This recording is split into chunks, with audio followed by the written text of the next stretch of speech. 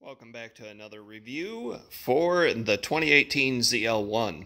Uh, today we're reviewing these Morimoto uh, XB LED taillights. Uh, as you can see, I do have them hooked up in the sequential form. Um, so what we're going to touch base on is how they look, how the fitment is, how easy they were to install, and the warranty. So let's go ahead and start off by how they look. Um,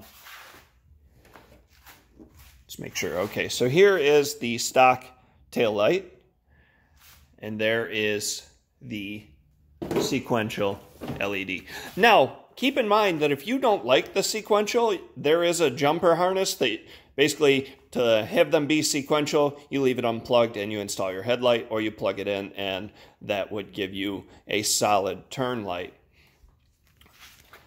My preference was to have the sequentials, and so as you can see, they are in fact both doing that. As for the install, the install was very simple. Uh, three pins on top of each access cover, and then it's real dark, so, oh, hey, look, never mind. One there and uh, one there. And then you just kind of up, pull the carpet back. There is three studs on each headlight. You have two right about here, and one somewhere right in here. Um, put the ratchet back behind the carpet, and you go. Um, so that's kind of what happened. There's some brackets in there that got me. Um, I wasn't bleeding too bad, but there was a little bit of blood, whatever. Not the end of the day. All in all, both headlights, and again, I'm not mechanically inclined, half hour. Um, so pop, pop, pop, pull this off. Uh, pop, and fold the carpet out. Reach in, undo two, uh, three nuts. Uh, obviously, just loosen them with the uh, wrench or the the socket, whatever you use. Uh, and then hand loosen them, catch them. Uh, I did drop one, and I was able to retrieve it. It uh, falls down in the well. I did have to finagle my whole arm in there, whatever. You know, it wasn't the end of the world. Uh, I did zip tie some harnesses up to keep it nice and tight in there, uh, but once you get everything out, um, this does just pop out. It does have a couple locating tabs in there too, but uh, you know, pops out. Obviously, disconnect the uh, weather pack connector, plug the new one in. 2018, there is a extra harness that you have to buy. So all in all, uh, the tail lights were 400, $40 for the extra harnesses. Um, but anyway, I went with the smoked out.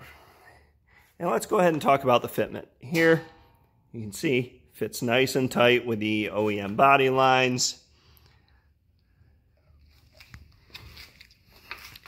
Nice and snug with the plastic cover here and against there. And down on the bottom, same thing. Sorry that that keeps flashing. So install Check. Easy. Half hour. Not mechanically inclined. Looks.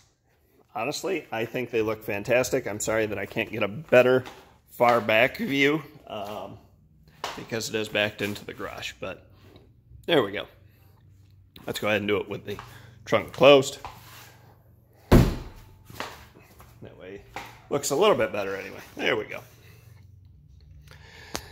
Um, so fitment, here we go. Again, body lines are nice and solid. Looks great. Uh, they do have a red one if you prefer a red variant for, you know, if I guess you have a red car. Other than that, I really like dark accents on color or on cars. So that's why I went with the smoked and clear. Um, so yeah, there's that. Those are installed. They look great, honestly. Uh, you're looking for a cosmetic mod for your 2018 Z, well, 6th gen, sorry, uh, Camaro here you go. This is it. Nice and easy. Um, and then, like I said, 2018 and up uh, need that extra jumper harness. So, um, yeah, 40 bucks there, 20 on each. Woo! Um, no big deal. Come with a little relay or something. Not real sure what that is. If somebody wants to tell me what it is, great. Um, but yeah, anyway, be sure to uh, like the video, subscribe to the channel, and uh, comment because that's cool to hear your feedback. Let me know what you guys think of these lights. Do you think the uh, OEM ones looked better, which I have sitting right there? Or if you think these ones here look a lot better. Um, I know my preference, and these will be staying installed.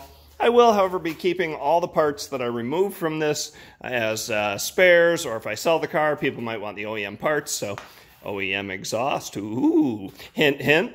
Um, and then we've got uh, the air intake box, which uh, you guys have seen my review of what I put on there, but you don't know what I have on there. So be sure to stay tuned because clearly um, the car does run right now. See, exhaust. Ooh.